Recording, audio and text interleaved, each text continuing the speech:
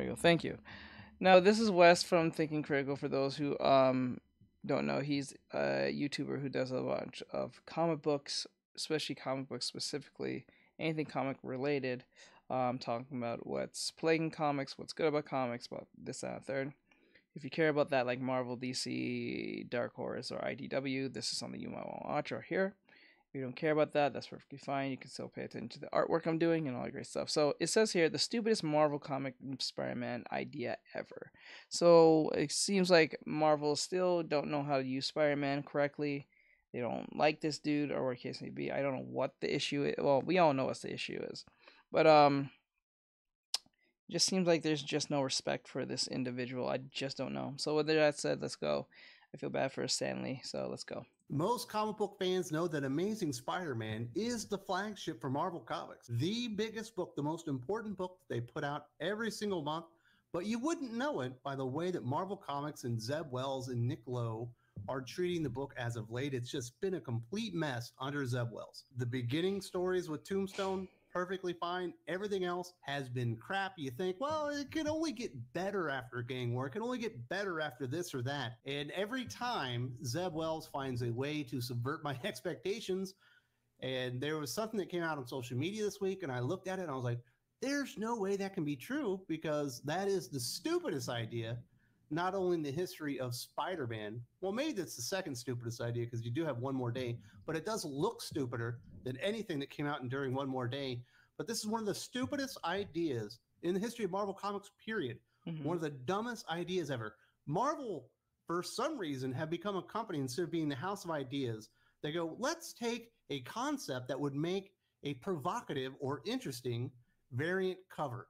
And let's actually make that who the character is. And that's basically what's happening with Peter Parker Spider Man because he's going to become an abomination at this point. Peter Parker will become a variation of the Green Goblin in Marvel Comics' all new Easy Being Green arc, which begins Amazing, Amazing Spider Man number 50 from writers Zeb Wells and artists Ed McGuinness and Todd Nauck. But the why? The recently released Ed McGuinness's cover for July's Amazing Spider Man 53 with the first appearance. I'm not gonna lie. As much as this is a dumb idea, um, I'm not gonna take it seriously.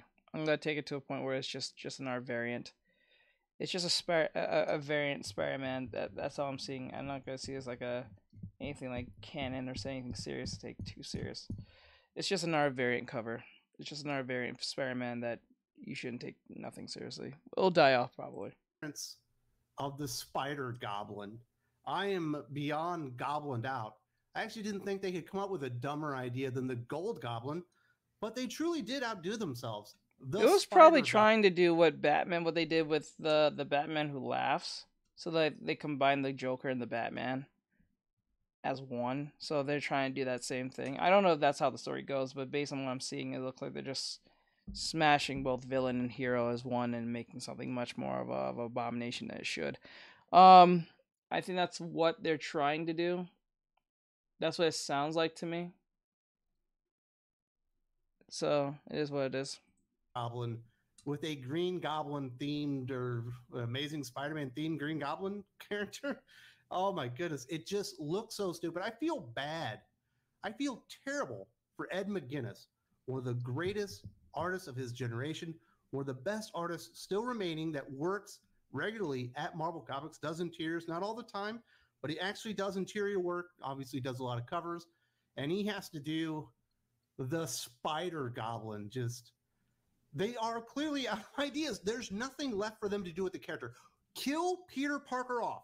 Just murder him in some fantastical way, make it meaningful, and move on from the character. If you literally cannot do anything more interesting than turning him into the fucking Green Goblin. It's just it, it's so frustrating be being a Marvel fan. You know, there are series out there that maybe aren't that important, and even as a comic book reviewer, I can just you know kind of skip them. Uh, Side Sprayer's Flash, I pay it no mind. I don't yeah. know what's happened for the last four months because the, the series is literally so unimportant and so stupid that I just don't pay attention to it. I cannot treat Amazing Spider Man. I can't treat Batman. I can't even treat Detective Comics like that. And I'm just being inundated with these terrible fucking ideas on all the mainline, front line, flagship fucking characters at both companies. and it's uh my goodness, it's it's so frustrating. And there's gonna be all these stupid YouTubers out there be like, "Oh, this is spec value. We might see the Spider Goblin in a cartoon or a movie one day." He's like, "Who gives a flying fuck?" Like, God, you got to stop supporting this stuff. It, it, there's no spec value to you. there's no spec value to the Spider Goblin because there's no future for the character because it's not a character. It's a caricature. It's a stupid idea. It's a variant cover gone wrong. It's the fucking garbage bale kids in 2024 is exactly what shit like the Spider Goblin is. And uh, as if if you haven't noticed, I'm a little bit frustrated with the situation. Yeah, I understand. They continuously come up with dumb. Yeah, I understand. I just, I, I know where he's coming from. It's coming to this point where these idiots don't know what to do with these these legacy characters at all because the previous people who created them or knew how to use them is gone. So these new writers or these uh, disgruntled writers are writing these type of stories where the character is just not the character anymore. It's just someone. It's just a punching bag or just a experiment piece or a vehicle to push or uh, destroy in its own self. It's weird. Hi, are you listening to it again? Listening to what? It's a little tricky to draw, but I'm getting used to it. It's it's weird. It's very very strange. What the hell? Fucking ideas can Zeb Wells and Nick Lowe come up with together? It feels like they're trying to break a record at this point. Per Marvel, Peter Parker carries the weight of Norman Osborn's sins and takes to the skies as the Spider Goblin. Queen Goblin imbued a spear with the sins of Norman Osborn, the metaphysical essence of his murderous dark side, and gave it to Kraven, who stabbed Spider Man with it, infusing him with Osborn's sins and bringing out Peter's dark side. Spider Man eventually became free of the effects, but with the reappearance of Goblin Queen, but with the reappearance of Queen Goblin and the spear in Amazing Spider Man 47, uh, it remains to be seen if this bears any implication sure for how Peter will soon become the Spider Goblin. It's exactly how Peter is going to become the Spider the, Goblin. The reactions you get oh, coming God. on when YouTube. I saw this week and I, I saw the Goblin Queen, Queen Goblin again, and right at that moment I was like, oh, I forgot how goblined out I was. There's so many variations of this stupid character. And I'd actually mind dumped. I'd head canoned yeah, out fucking the stupid spear and all the sins of Norman Osborn and the spear that Kraven stabbed Peter Parker with. I was hoping it would never be revisited again. And for some reason, we're going to go out and revisit the dumbest shit that anyone's come up with with Spider-Man over the last five years. Just just terrible ideas. You know, in this week's or last week's, I guess now, Amazing Spider-Man issue fucking looks great. Million bucks, Todd Nauck on there, refreshing change from John Romita Jr. It looks so great. And as you read it, you're just like, huh, all this stuff that happened two years ago that no one cares about. Why are we revisiting it now? Because they're going to break out the Spider Goblin, the big gun. Because they ran out of ideas. That's ultimately what they did. They ran out of ideas. That's all they did. They ran out of ideas. People, they're really Jeez. searching. Maybe through, they just want to sell variant covers at this point. Okay, right. And uh, it was a very frustrating read this week. It was frustrating to see Todd Nauck, another fantastic artist at Marvel Comics. They don't have that many being wasted on such a stupid story. And now to realize that it's only going to get dumber and dumber and dumber as Zeb Wells continues on aimlessly on fucking Amazing Spider-Man and gets pantsed by Jonathan Hickman and Marco Checchetto and everyone else associated with Ultimate Spider-Man, which is quickly becoming the Spider-Man book of choice. I think that book is going to outsell Amazing Spider-Man for the next two or three years. There's no way Zeb Wells has any staying power at this point. It's actually, you don't ever see this. Amazing Spider Man, if you look at the sales rankings that are available from Comics Hub this past month in March, it was actually outside of the top five. That never happens to Batman, and it certainly never happens to Amazing Spider Man. But people are getting fed up with this shit, getting fed up with Zeb Wells' lame ass, stupid take on, on Spider Man that really is nothing that anyone that's ever been a fan of the character ever wanted to see. And it's not even interesting. That's the worst part. It's fucking boring. It's tedious. It's lame. and it's certainly anything in the world but fun to read. It's a fucking chore at this. And it's only going to get worse as we get up to it ain't easy being green, fellas, hmm. because Peter Parker is going to become Norman Osborn. Osborn, the original Green Goblin, changed after the Sin Eater purged Norman's metaphysical dark side. Norman has attempted to make amends by employing Peter Parker at Oscorp and allying himself with Spider Man as Gold Goblin. Ryder Wells has previously teased Osborn's return to villainy as the Green Goblin, with the upcoming Easy Being Green and Amazing Spider-Man 50 potentially being where it happens. Well, I guess we know that uh, it, it's going to happen, or maybe they're just going to combine. We're going to have Peter Osborne or Norman Parker as the stupid Spider Goblin. They're going to become one entity or something stupid like that that no one ever wanted to read. And they are taking a lot of this stuff with the Sin Eater and then the, the sins of Norman Osborn uh, being taken away from him are all coming out of that Nick Spencer Spider Man run, which was actually good, shockingly good, after all the damage that Nick Spencer did to his reputation. Beanbag. With uh, Secret I think the best thing that that's happening stuff, to the know, MCU is Deadpool and Wolverine.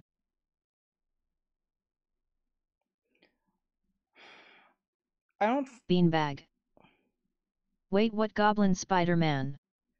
Yeah, so what what Wes here is talking. We're talking about the comic books. We're not talking about the the movies. We're he's talking about the he's talking about the comic books itself. He's not talking about the the movies. Um, uh, he's not talking about the MCU at all. Um, the MCU always refers to that the movies, but uh, uh, he's talking about this variant of uh comic book of Spider-Man and the Green Goblin combined as one. It's not something that people want it's not people ask for. It seems like they don't know what to do with Spider-Man at all, and I think Wes is right. If you're going to, I'm excited about that movie. I I understand why most people will be excited for it, but uh, I I'm pretty sure it won't be a bad movie, but I'm pretty Beanbag. sure it's not going to fix the problems. That's, that's not good. That's that's not um plaguing the MCU the MCU MCU needs a major reboot. It needs a major rework. It needs to stop pandering to minorities and women so fast. It needs to fix itself. It needs to fresh out their characters that have problems, that have weaknesses, that have um, uh, uh, struggle. And this is mainly towards the females per se. Beanbag. Whoever came up with that idea should be fired. Yeah, I'm pretty sure they should be. They should see the variant cover. It looks terrible, but like, like the MCU needs to be fixed. It like now nothing's wrong with the actors. They're just doing their job. It's not the actors. It's not even the females. It's the writers that's the problem. And this DEI nonsense, that's what's causing these things to be ass. Till they fix that, then everything will be fine you can write a awesome female uh, MCU um, character. Just don't make her into a girl boss who can do everything. She's super smart. She's very she has masculine male traits for some odd reason. She's stoic for some odd reason, and then um, she can do no wrong, and everything she does is perfect, and she has no weaknesses whatsoever, and she's pretty much a Mary Sue by default, and you know what I'm saying? It's just it's a it's it's it's it's a trope that's not only been beaten to death, but it's a trope that's not relatable to anyone, whether you're male, female, or anything in between.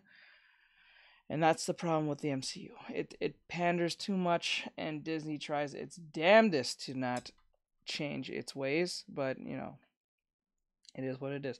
Disney did a better job at diversity when they was not forced to do diversity. That's the uh, that's the most awkward and ironic thing about Disney.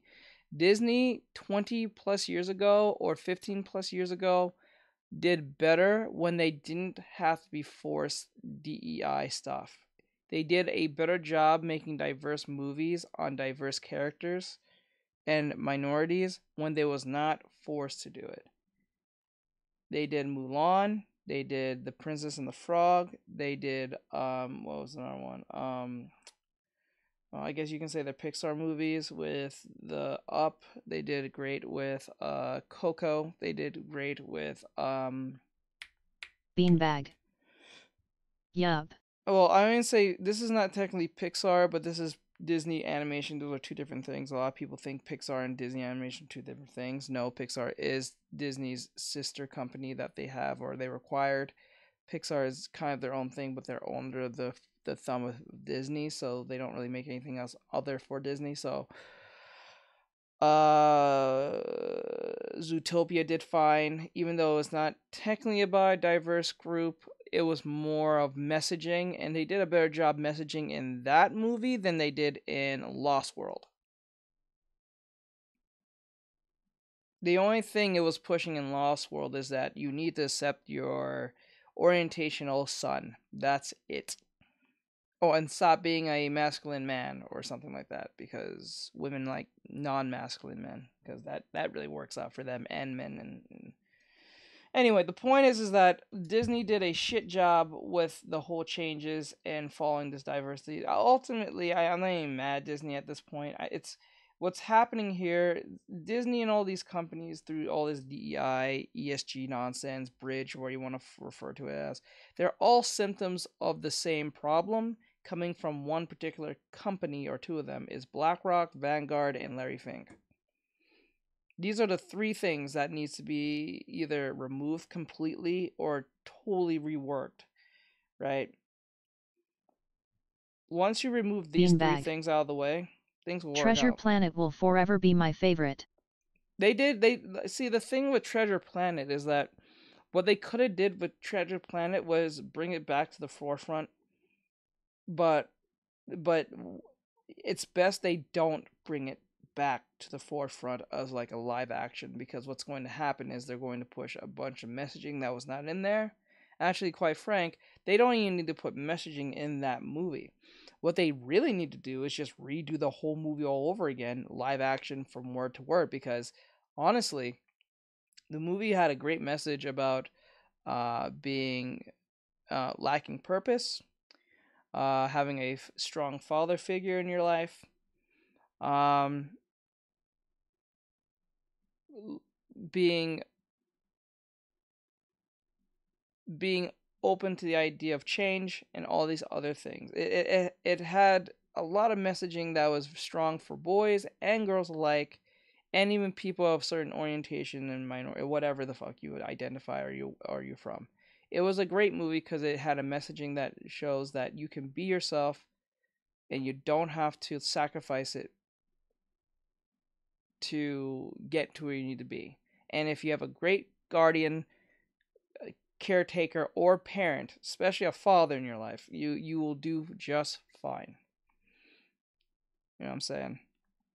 Because I ain't gonna talk about the single mom because the single mom was already presented in that movie as a hardworking mom. Same thing, like like I kind of look at the way I look at Treasure Planet is how I look at Iron Giant. It's really weird I look at Iron Giant as that as um Treasure Planet.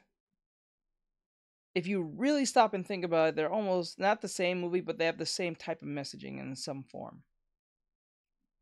It's very, very similar when you stop and think about it. So, hmm. Cap, he comes back, redeems himself on Amazing Spider-Man, and basically he's almost at the finish line. He's about to retcon one more day. Peter Parker's got the freaking engagement ring in his pocket. He's getting ready to ask Mary Jane the question. Obviously, he gets interrupted, but he was going to get back to it eventually. So Zeb Wells, the fucking genius. They are kind of similar. Very similar. They're similar in their ways, but uh, drastically different at the same time. Real fucking brain trust there. They go back and they're like, "What? What was it about Nick Spencer's run that people were liking?" Oh, I think it was the Sin Eater. I think it was Norman Osborn. Trust me, once they get their hands on Treasure Planet and ever doubt, uh, uh, ever even think of making a live action movie, they will fuck it all up.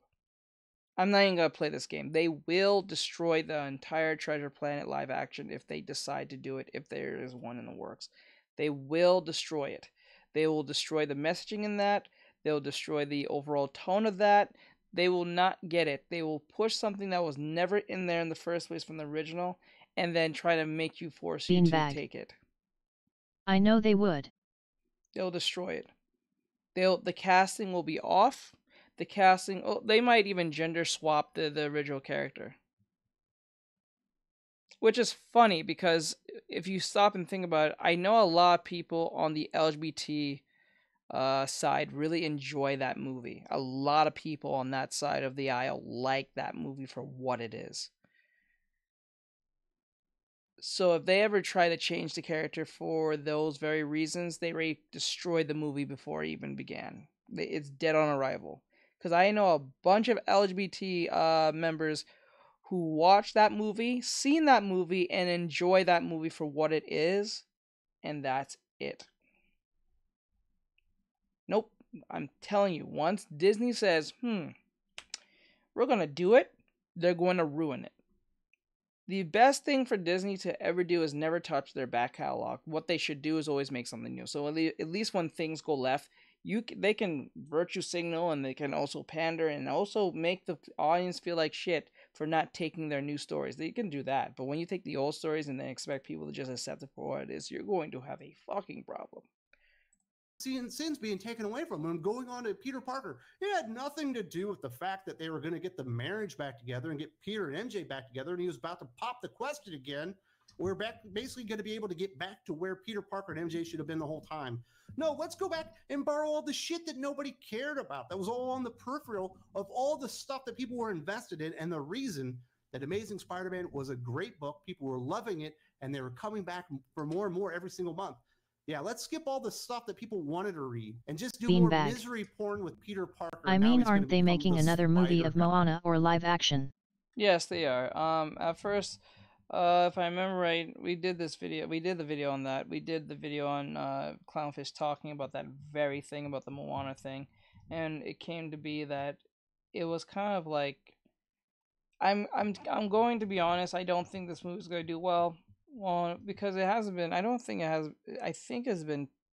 Has it been ten years? When did Moana come out? Guys, it's me. When? What? What? What year did Moana come out?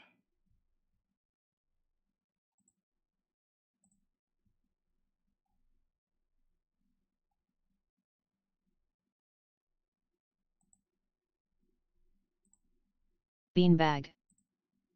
Uh, it's been a while. Has it been 10 years already? It doesn't feel like it has. Goblin. One of Marvel's most dangerous couples is finally together again after months of separation by hell itself, with the benefactor having her sights set on restarting an old war against Peter Parker. Beanbag. In the recently released Amazing Spider-Man 2016. 2016? It hasn't been 10 years then. Well, not yet. In two years it will be. Not gonna lie. But like, Raiga Samurai. 2016. Doesn't feel like 10 years. It feels like kind of like five. Holy shit. Business with the Queen Goblin has only just begun. My concept of time has been warped ever since these movies. Like, ever since the DEI and ESG, you're more vigilant on them more, so it feels like you're always near these char- these these these movies. Yeah. Yeah, it was in 2016. Jesus Christ. And Hallows Eve. Um, like I said, I within that. that. Amazing Spider-Man 47, there are so many returns that you forgot about that you hoped Zeb Wells and Nick Lowe and everybody associated with with oh, Amazing and then another thing, I do understand that people are excited for the Deadpool movie and Wolverine. I am kind of too, but given Disney's track record, it just doesn't put a good taste in my mouth um, I know for a fact that this movie is not going to fix the MCU. I don't think so. If anything, they're going to make fun of the majority of the, the choices they made within the MCU multiverse um, saga. I'm pretty sure that's what's going to happen here. I don't think, I honestly don't think that uh, Deadpool is going to be running around trying to fix the problems of the MCU and where Bob Iger and uh, Josh. Uh, what is? Uh, uh, what's his name? Josh Whedon? Not Josh Whedon. The other, the, the the director of Marvel. I'm pretty sure they're not going to fix the problems. The only thing that's going to happen is probably introduce some new characters, probably, and then also bring in the X Men completely into the MCU completely from this point on, and then it's gonna bring Hugh Jackman's uh, Wolverine Wolverine variant in there. Also, might even bring his replacement at the same exact time in this movie. I'm pretty sure because Hugh Jackman's old now, and I'm pretty sure he can't be doing Wolverine forever. It'll be kind of a pain in the ass, I'm pretty sure.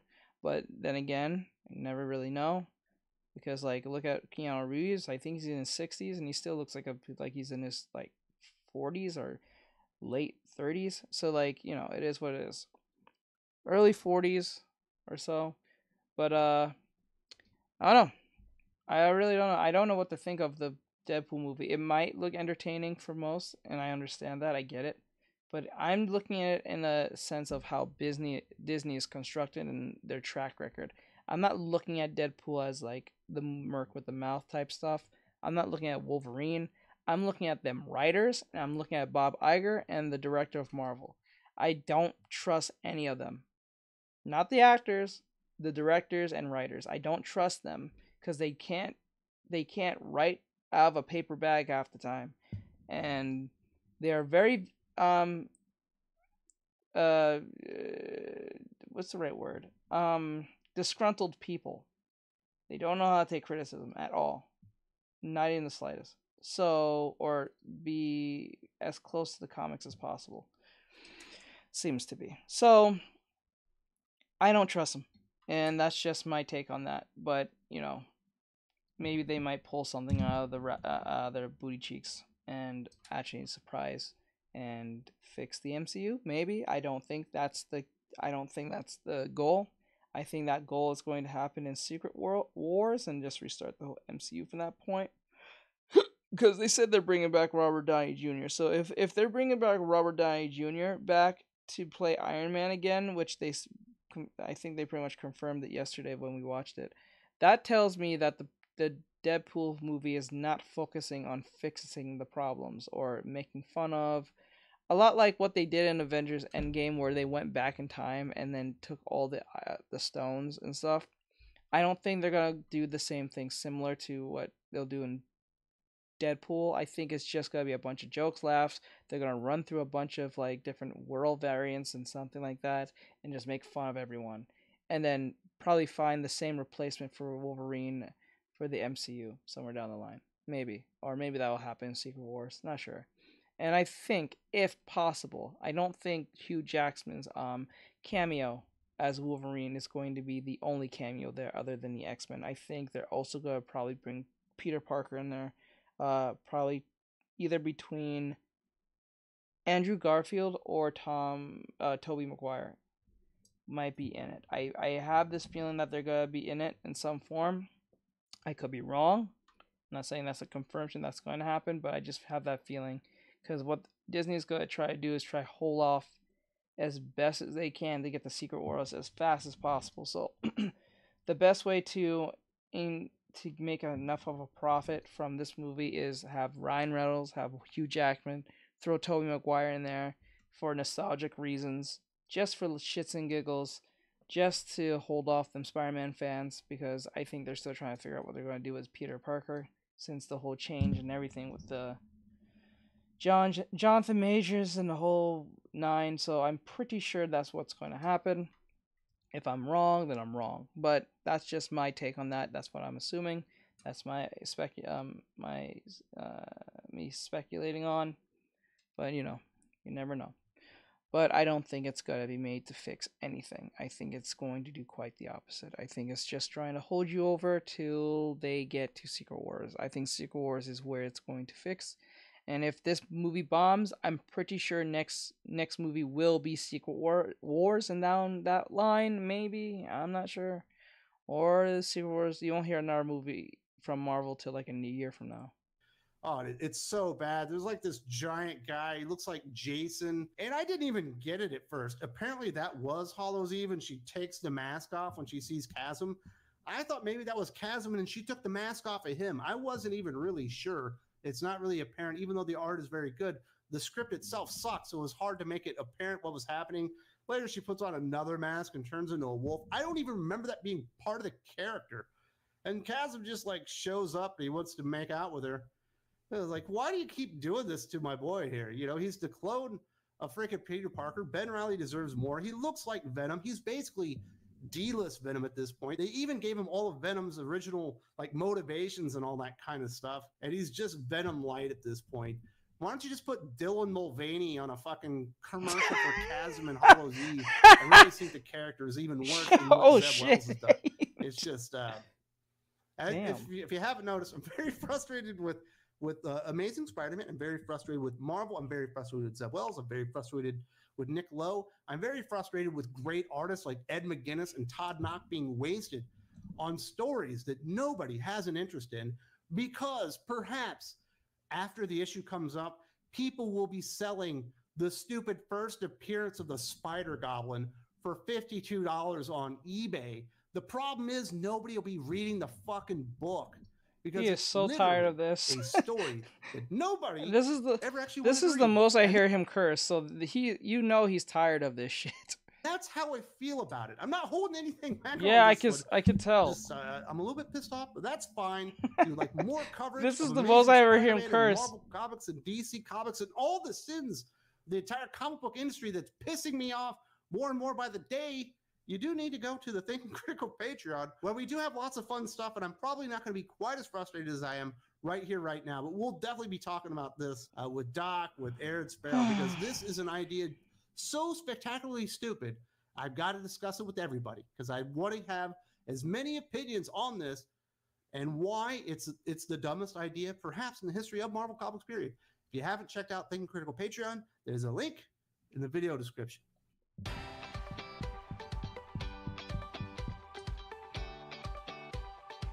All right, so that was Doc. I mean, Doc. That was Wes on the whole Spider-Man debacle. He went on a whole rant. I feel bad for him. I know how he feels going on a rant. So it is what it is. So like, share, share, follow, come and comment, give him a follow, and all that great stuff. So I'll see you guys in the next one. Hmm. All right. Now it's here at Clownfish TV. It says here, uh, okay, I'll look at it in a second. Uh, Disney gives away Disney Plus again. Star Wars isn't profitable.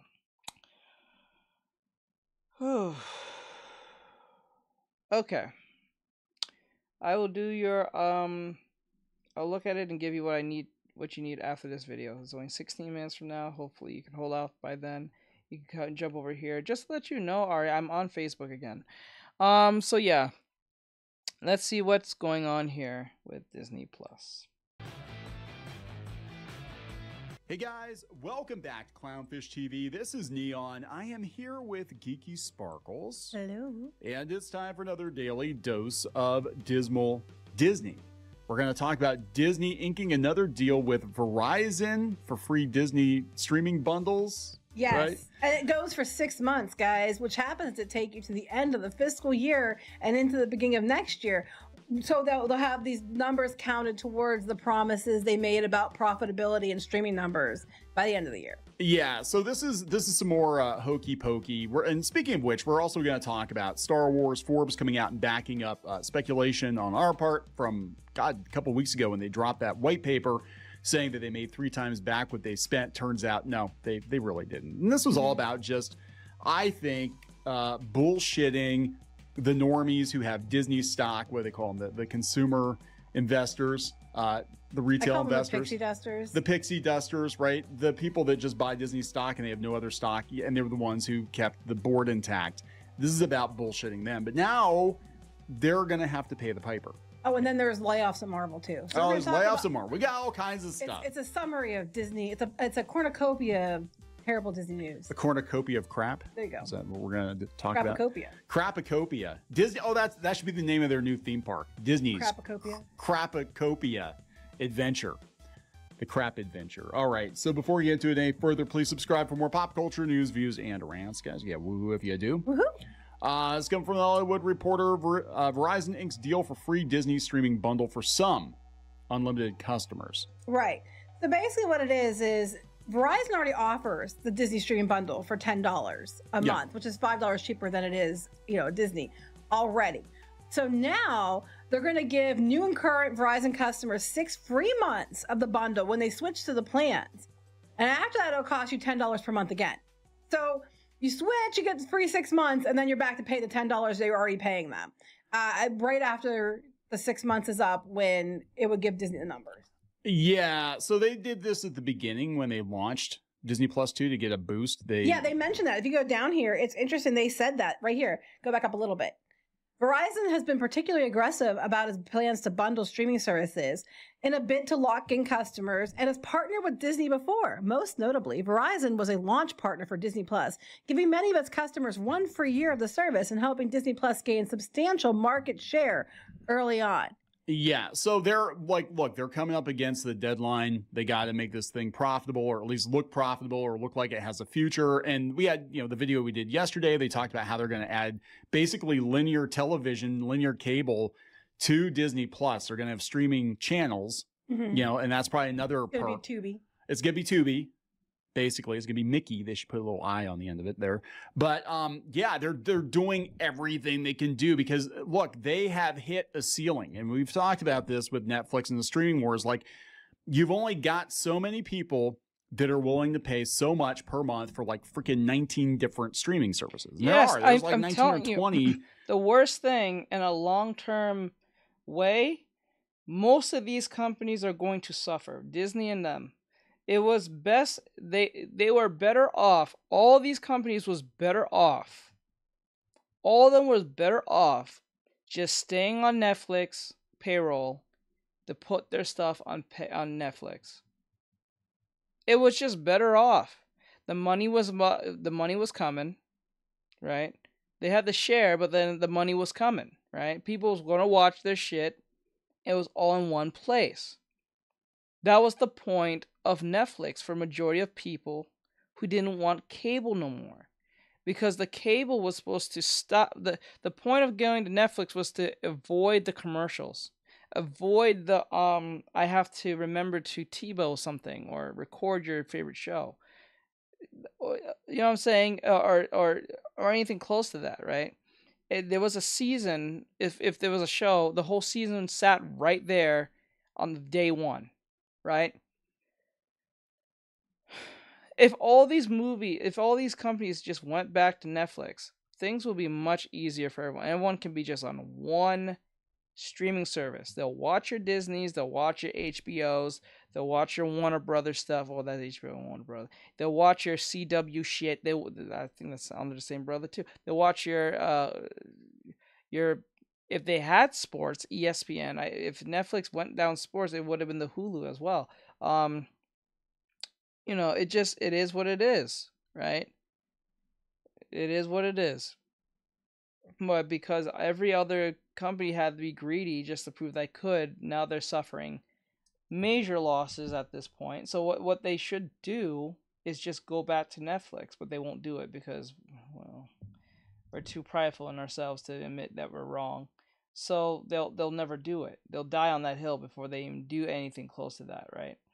Um it was better off because remember the pay for Netflix back then was like what five dollars a month. Uh, I think at first it started at like three ninety nine a month, technically four dollars. I think it was three ninety nine a month, and then it it raised a little bit to five dollars. I think directly just five dollars, and then that's where it started getting worse. That's right after that five dollar hitch went up a little bit. That's when all these streaming services started real or these companies started realizing we can do that too. Right? And then once they figured that out, that's when all hell broke loose for Netflix and they lost majority of their best show well not best shows, but their back catalog of shows that people could just go and watch, like the Friends, the Seinfelds, the King and Queens, the Everyone Loves Raymond, Everyone Hates Chris, uh, you know, all these different shows. Uh, the, the Cartoon Network shows, the Disney shows. I'm saying it had all the shows where you could just find what you wanted and that was it. Right? Now it's like you have to go to several different streaming services just to get the shows you wanted in hopes that they have it. Because if you want to watch like say, let me use an example. If you want to watch like um Vampire Diaries on Netflix, you only get I think seasons 3 through like I think 6 you don't get seasons one, two, and three. I think I don't know. No, no, it'll be three seasons four to six. Like you only get two seasons, but they're off from four to six. You don't have one, two, three, four, and five. You only get like two seasons. because they have the license to those seasons. But the other services have the license to you probably one two.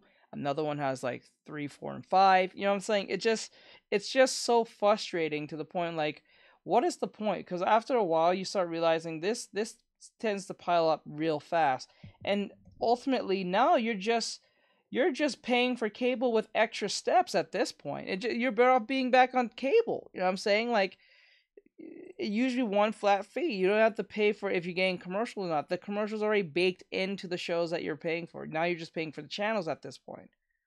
Right? Because most people are not paying for the channels on these streaming services. You're paying for the shows that you want at this point. With commercials, if you're paying in a low budget situation. Now what what this made for most people is the haves and have nots at this point. That's what what these streaming services, these su- these subscription based uh, companies or methods have made. These uh, have and have nots because you can't pay for. So if if you only can make like you you enough to pay for like four dollars a month, you're gonna get a bunch of commercials up the wazoo to the point it's going to annoy you.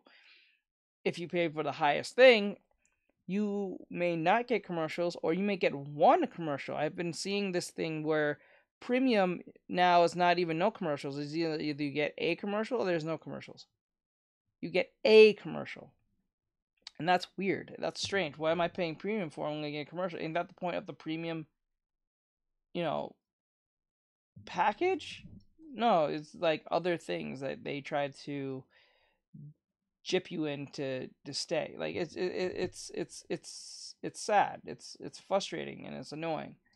You know what I'm saying? So I understand where Kneon is coming from with this. It's just like it's it, it you guys were the majority of them was better off. Hey there, did I miss anything crazy?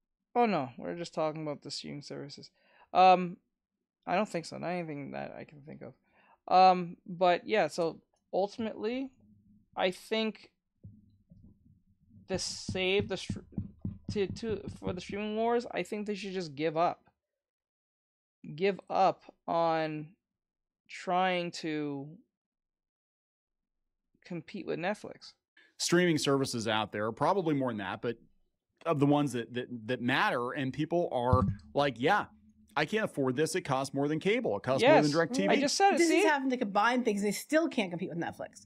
So, I mean, they're trying to do whatever they can do to take from other streaming platforms to see what they can, you know, pick and choose, cherry pick the things they want to, tr- to try, throw spaghetti against the wall, as Peltz put it, to see what sticks.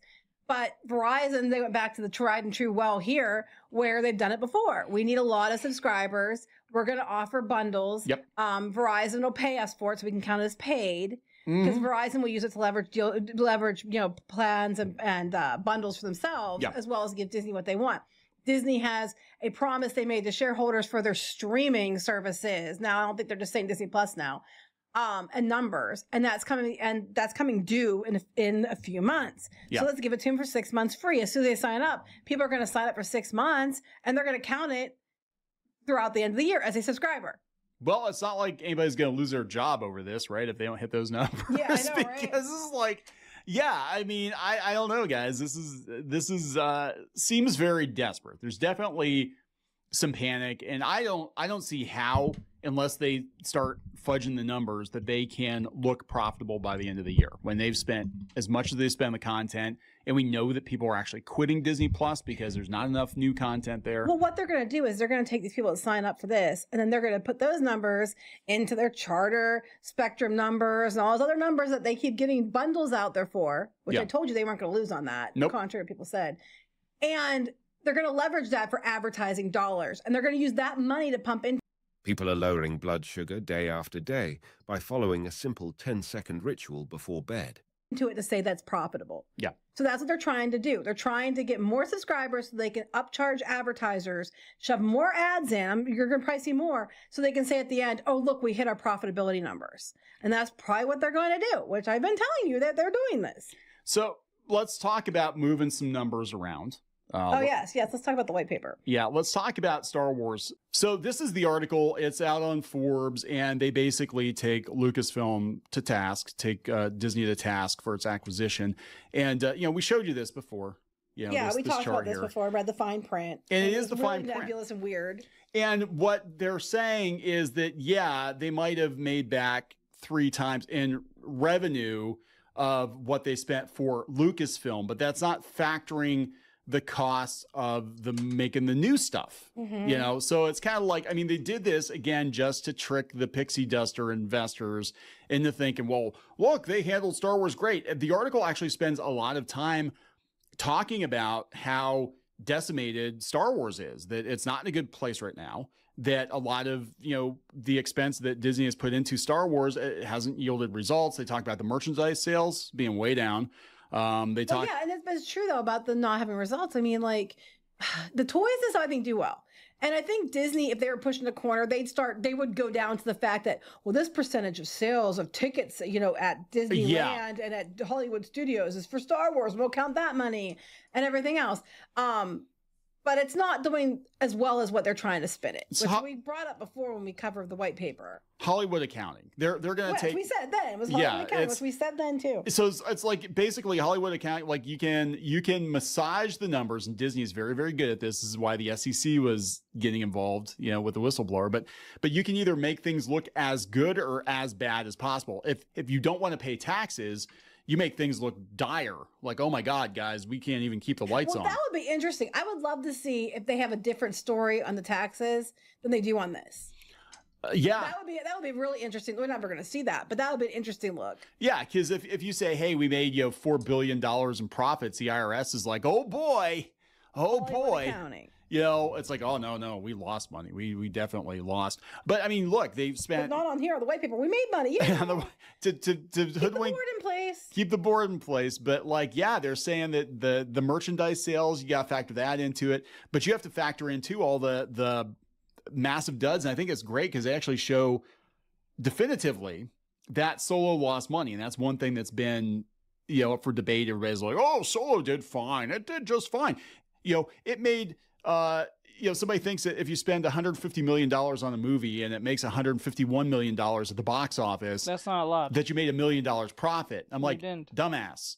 I, I have Yeah. to take a No, moment to. no, you didn't. To, I love Caroline Reid's Returns No, of you the didn't. Jedi. Returns of the Jedi. I, I, I, pre- Let, let- let me hear what he's just said. I have yeah. You know, somebody thinks that if you spend 150 million dollars on a movie and Okay, 150. A uh, 150 mil. And it makes 151 million dollars, Yeah, eh, yeah, yeah. That's not a win, bro. That's not a win. If you made a hundred, he's right. A hundred fifty million. If you, if you made a hundred, if you spent a hundred fifty million on your movie and it only made a hundred fifty one million, you made one million dollars profit. That is not a win. That is a major loss. You're supposed to get at least five to ten times what back what you made, what you spent. It's it's like okay it's like uh, if i remember right the dude who made the was it the witch the witch blair series? I think it was a group of them but the dude who made the witch blair series or yeah. They the the found footage uh genre they i think they're the ones who started that and then it became the supernatural uh i don't know if it's the same people or maybe they just copied them i'm not really sure but the point is is that with the Weir- Blair Witch uh series. The dude had a camera, right? Just a basic camcorder, right? I think if I remember right. And just basic equipment. I think it cost him ten thousand dollars. I think the movie cost him ten thousand dollars when he made it. Ten thousand. The movie made, I think, fifty million dollars he got a he got a hundred times back what he even even got from that movie. That's a profit and some change. I think it made fifty million dollars. Wait, let me look that up. Hold on, I'll I'll even prove it to you. So I think I remember that from that inter- that interview. I hit the thing. Let me see. Um. Uh, let me see if I can do this from here. Maybe I can show it. Take me to Google.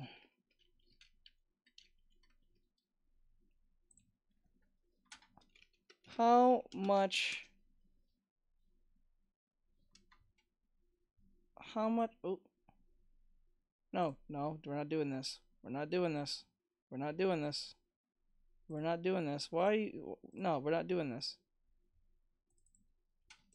How much money did the Blair Witch first movie? Oh, I was Oh, that was more than I said. I said 50 million. It was 250 million the first movie made. Despite having a short filming budget of 35 to 60 only 35 to 60 thousand dollars on the Blair Witch project. It was 35 to 60. Let's just round it Darth up. Goricorn. That's a lot of money. Honestly, that was a good movie for its time. Yeah, it was. And the fact that the movie was between 35 to 60, let's just say it was around 50,000. I'll say $50,000. They made $2,500 million off that. That is a major win. So when anyone says here, or you hear that they spent say a hundred, if if if Disney made a hundred million, and the movie only made, uh, if they spent a hundred million on a on a movie, and the movie made one hundred and ten million, they only made ten million profit. That is not a win. You're supposed to get five times as bad, or at least three to five times more than you actually made from your spending budget. Because remember, out of that 10 million, you have to pay back all the people that worked on it. You got to pay back all the, the marketing fees.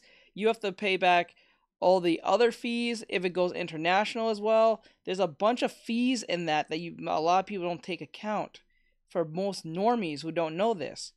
So like if it didn't make for this to be a profit, you have to make at least more. So if if they made a hundred million, if they spent a hundred million and they made two hundred million, they made a hundred million profit. They actually just they just they just made just enough to pay back all their people and have some some change back. But they didn't have a lot to the point that it's like 500 like 400 million to uh four like 400 million 500 million or at least a, close to a, a a billion you know what i'm saying? So like let's just use the mario movie. How how much money did it did it did take to make the Mario movie? It was a hundred million dollars that it took, according to two sources. It says according to sources, it took at least a hundred million dollars to make the Mario movie, and it came back with a one point three four, a one point three billion dollar profit. And it scored another 173 million at the international box office. Worldwide. Worldwide, it made one billion dollars, pushing its uh, to three million. It carries to the. I think a perfect example of this is the five nine. How much? How much how much money did it take to make the five Five Nights at Freddy's movie? It was only two million. I mean, twenty million. My bad. It took twenty million to make the Five Nights at Freddy's movie. Roughly twenty million, right?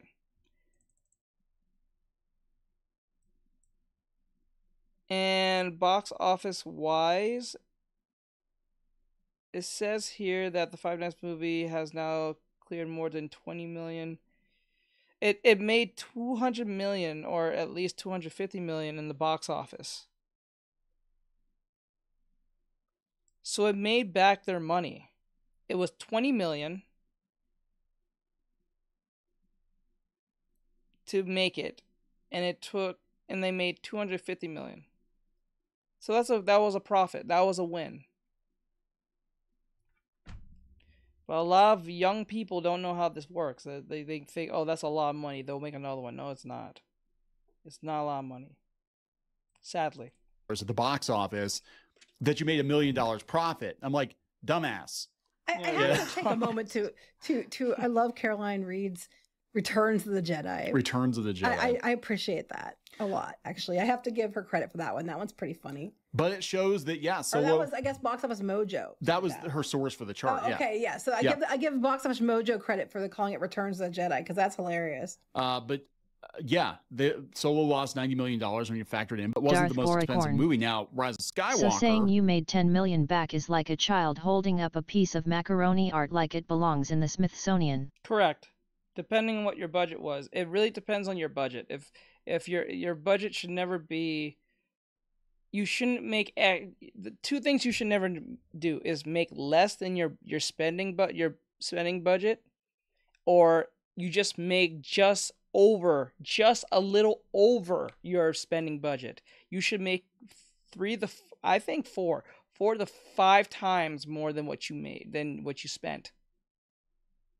So you have a you have a profit enough to pay your workers, pay everyone, pay the marketing fees, pay the the the all that digital mar everything, the advertisements and everything. If you did do any of that, and if I remember right, I don't even think the Blair Witch, the first movie, even had advertising. I don't think so. I think it was one of just those movies people just stumbled upon out of just pure luck. I think. I don't think it had a bunch of like um. Uh, uh, I don't think it had anything close to that at all. So that one makes it kind of funny. You got to realize too they probably used a lot of the the props and the startup costs and stuff like that too and we saw that with with solo and with rogue one like a lot of the same aliens and stuff they would Mhm. use them because they're like oh yeah we got all these yeah so it's like why are they using all these new disney aliens that they came up with in the Force Again, It's not safe. I can't let you go. Force awakens and all these movies i'm like yeah because they got the costumes laying around you know I still just, don't understand how Disney made more profit than they're spending on Last Jedi because that thing was a was dog shit. i it didn't make as much as the force Awakens. But you know what? Here's the thing about Solo too. I want to point out the Last Jedi. Okay, it fell off a cliff after the first couple weeks. People boycotted Solo because they were mad about the Last Jedi. yes So you're seeing that, and they're not. What they're not telling you in this chart is that a lot of the, the losses on Solo, besides the fact people were like, "What is this?" It has to do with the fact that people were boycotting it after the Last Jedi. Yeah. And then you see the, the massive losses basically on the ride Rise of Skywalker compared to what they spent because at that point they ticked everyone off and nobody came. yeah I, to this day i still have not watched that movie Nope, I have not either. I, I've seen parts of it on YouTube, and I'm like, God, this is like a parody of Star Wars. Like, this is really cringy. I have no desire. And what kind of blew my mind about that too was like the Force Awakens. They made such a big deal about how they're going to use all practical effects, and then the scenes I've seen in the Rise of Skywalker were like super CGI heavy, and it looked very, very fakey. Like in some ways, it looked you know more fake than the prequels. That's saying something. But they That talk about saying they talk about how they kind of uh, you know used UK tax credits They've and all. this- been. They did it for the Marvels too. We've talked about that a few times. Yeah, They've been doing that. So it's like, I mean, look, they're from it's true from a certain point of That's view. just it. I think I think that you, give- given all the data, people can make this. That you could argue it was it made it made its money back, but but with a different set of data, you could definitely show that it they're still in the hole. It's like you're never given a complete picture of it. Yeah, and they're bringing up about Willow and Indiana Jones. That that's part of Lucasfilm too. when Nobody talks they about don't- that. They don't account for that. No. When they're talking about the Star Wars, they bought Lucasfilm, and no one and they're not mentioning the fact about how much money they lost and how they had to cancel Willow, and they pretty much ruined the brand because of their stupidity for Disney Plus. Yeah, that's the thing. They are not mentioning that they just bought Star Wars. just Star Wars. But that was only part of what they bought. well, even the Avengers, like they're basically, you know, But limited they're doing Marvel. They're saying Marvel. but- Marvel Studios Avengers, but Oh, they're yeah, they're focused on Avengers only because the Yeah. Avengers campus. Okay. now this is uh so this is really here, int- now this is um Disney's you know own things or They're whatever. only but- using those ones because those are the ones they're using in the park. They're using park heavy. yeah, everything's That's why they- Avengers. They, focused on that. uh, everything is Lucasfilm, and then it's like, okay, it's all Star Wars, Star Wars, Star Wars, Star Wars. Yeah, they're not saying, hey, look, uh, Indiana Jones bombed. Eh, Oh, hey, look, Willow bombed so bad that we had to pull it off of, of Disney Plus. No, because they're focused on. They bought Lucasfilm, but they're saying Star Wars. They bought Marvel, but they're saying Avengers. You know, All of like these- that. all Pixar, these shows- they're just mentioning Toy Story. Yeah, because that's Toy Story Lands in the park, right? That's right. Because park because they're park related. That's why. Yeah, so they want to show the brand synergy and all that, but like it's it's not good. Like again, it's Hollywood accounting. They needed to razzle dazzle the investors to make them think that they knew what the hell they were doing. But any idiot can look at Star Wars in particular and look at Lucasfilm and be like, they dropped the ball harder on this one than they did anything else. Like they just have not gotten this right since the start. Plus, they bring up too about the theater. Like the totals are that, but you have to remember theaters take a big cut of it too, and they don't mention that. Like it made one point seven billion dollars. Yes, how much did you actually make? Because the theaters took their cut. And I, well, I'm, I'm sure if you look at information and data, depending if they count theme parks, depending if they count merchandise and green milk and blue milk sales and you know Yeah. all that, I'm sure if you account for all that, you might be able to to to look like they maybe made their money back with tax credits and everything else. But it doesn't mean that they're actually making money. It doesn't mean that they legitimately did make their money back per se. It's just that they're just going to massage the data to make it appear that way. Yeah, I, I could totally see. I, I could totally see Disney being like, okay, let's take the uh, price of admission to Hollywood studios, and and every person went to Hollywood studios, okay, like you know, 15, 20 percent of that ticket is going to Star Wars or Lucasfilm stuff because you know they did Indiana Jones and they did Rise of the Resistance and just getting in the gate, and they kind of do that with Harry Potter. How much of the park is, is, is Star Wars now? It's probably like, what a, a, a third of it because you have the you have Star Tours. Yeah, There's a little bit of Muppets, and then you go into Galaxy Edge, it goes around the whole backside, wraps around to the other side. It's probably like a quarter to a third of the park.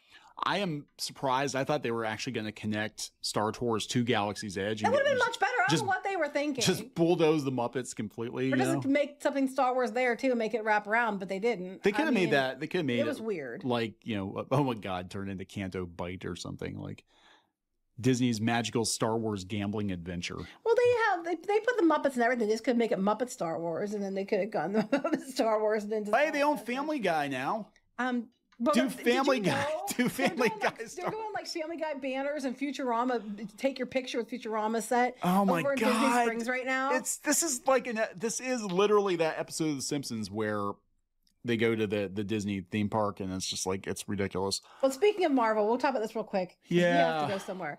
Um, also, Marvel had a 15 person layoff just yesterday. Now, it's both in Burbank at Marvel Studios and Marvel Entertainment in New York. They're saying the ones at Burbank were junior employees in production development at Marvel Studios.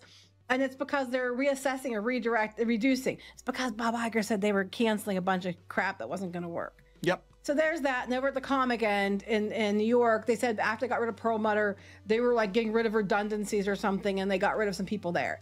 So they got rid of 15 people at Marvel. It wasn't a massive layoff, like some people were saying. Yeah. But it they're definitely cutting.